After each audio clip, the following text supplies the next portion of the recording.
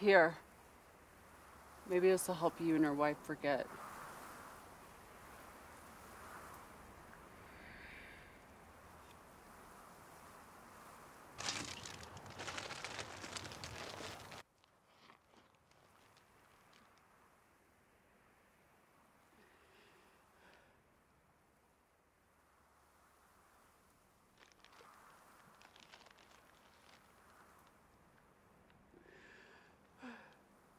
What am I gonna do?